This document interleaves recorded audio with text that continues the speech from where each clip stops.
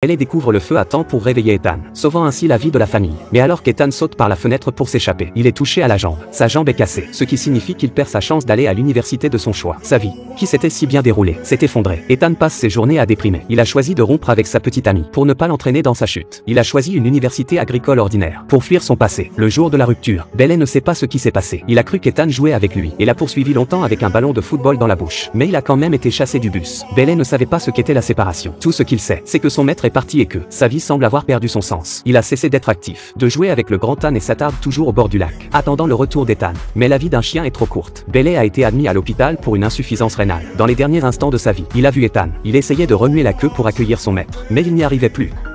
Good boy, Bailey. Don't worry. You just feel cool.